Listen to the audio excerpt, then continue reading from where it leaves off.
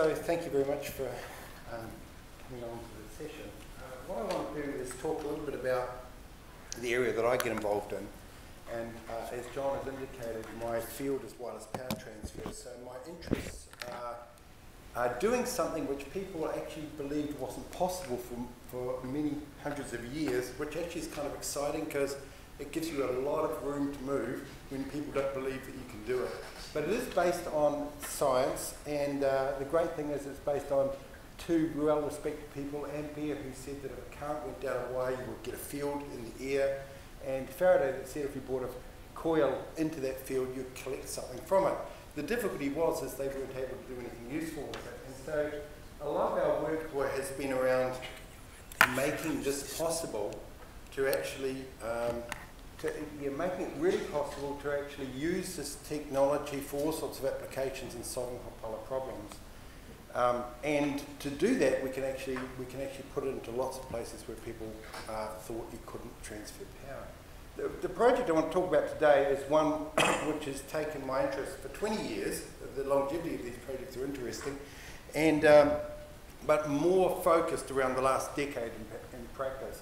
And it's a vision of a future city where we are looking for um, uh, enhancing the use of electric vehicles.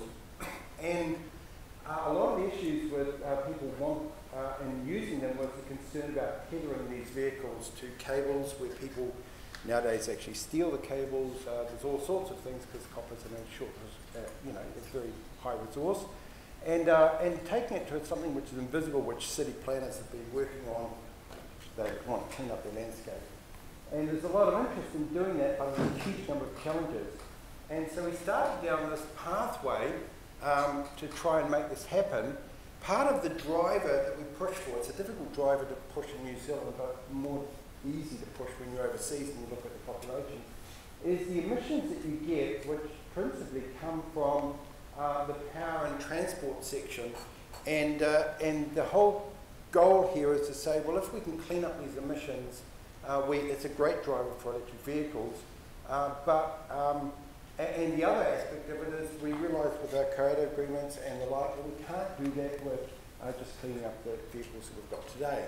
So uh, we are looking obviously to power these vehicles and to actually do it uh, without using conventional generation, which we're typically running out. So we've got this problem that we need to bring in the green energy sources, the ones that are, that are, no, uh, are cleaner um, than you know, traditional um, conventional means, or that we actually can't bring, um, like we just can't bring any more hydro in, into our mixes.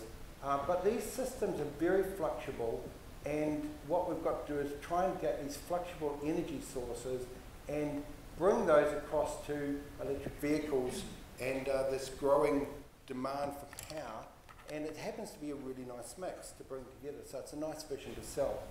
So we started off with these kind of visions, and, the, and we, we, we pushed to try and get people to get involved in this. Now, you would think that would be easy, but it's a bit like kissing frogs, trying to find the fairy princess and getting warts.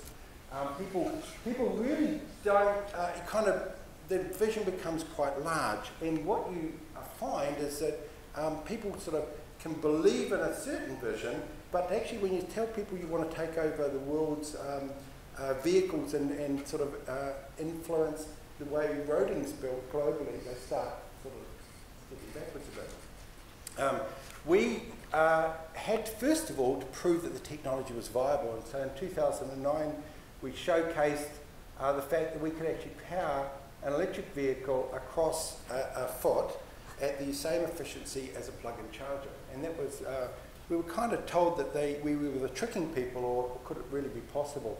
But we went from that um, to launching a company and showing that we could actually do this with pads on the ground and actually uh, seriously charge our vehicles. When we talked to the car manufacturers, they said they'd been there, they'd done it before, they didn't really see this really changing. Interesting thing is, five years later, they told us this was the no-brainer technology that they would have to take on board. Um, and we went from a, a, case of launching a company to selling it, which sounds really strange to do, but keeping all of the uh, intellectual property. And in doing that, uh, that enabled uh, a global vehicle to actually take the technology forward, but the research is done here. And uh, the research is done here to try and, um, and develop what we're going to end up with in this technology in the next 10 years. So, interesting enough, from a state of 10 years ago, the car manufacturers saying they would never see this technology in their lifetime, they now have nearly completed the standardization of this technology for uh, electric vehicles. And so the question uh, that I wanted to talk about today was where are we trying to take this, this technology? And it's really a, quite a challenge taking it in the future. The, the, the, drivers for electric vehicles and the drivers for this technology are, are very societal trends around us. The trouble is that we as a, and we can see the pressure in Auckland, but this is happening globally, people are moving into cities and urbanisation of that is causing all sorts of problems, which are population health problems. Um, there's all sorts of air pollution issues we're having to deal with. The health costs are predicted to, to, to go uh, really astronomical. But alongside that, you can see the infrastructure strain is going up. We're looking to actually grow the number of vehicles, more than double it, um, by 2050. And if they aren't electric vehicles, we're in trouble. And uh, our vision is to try and encourage electric vehicles to be used. Now, the, the challenge is not just stationary parking, but to be able to transfer power when vehicles are moving into lighted areas or actually when they're driving along a highway. And the aim to do this is to try and take the technology so that we don't have to have a huge number of batteries on the vehicle. We can just charge them little and often. It sounds simple, but it's not. Um, there's a lot of people now starting to believe in this vision globally who are starting to work on it. We're uh, still at the forefront of the technology, but I can tell you it's a, it's a race. And it's, it's exciting and there's lots of questions of how to do it. Um, we need to try and find a way of transferring power in what is a very conservative envir environment, and people don't like digging up their roads. We need to look at all of the extending it around uh, services like rail, buses, and the like. And we need to try and find a way to actually integrate that with, with the, with the uh, systems that are in place. But the real challenges are in the next slide, and uh, is that we need to work towards highway power as they're driving along the, along the road. And to do this, we need a lot of help. Um, as you can imagine, we need to, we need to energize a vehicle as it's traveling along a highway at 100 kilometres an hour. Um, we know that highways of the future are working towards automation. They're working towards vehicle recognition and billing. But the issue we've got is it's not just one vehicle on the road. We've got trucks, we've got um, small cars. Um, the system has to be designed for the smallest vehicle that handle the largest truck which is high off the road. That's a challenging uh, thing. It's got to be able to deal with the energy demands of these vehicles which are, are varying and demanding. The grid supply, you can imagine what the impact of this would be on a grid supply in terms of the energy mixes that people want, and it needs to be robust and reliable. And of course, people don't like you digging up their roads.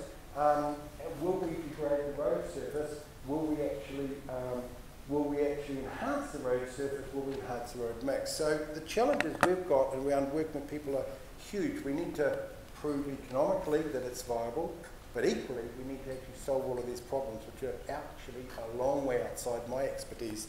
And so um, people who are excited about such a vision, I'm certainly keen to talk to. And I think that's probably enough.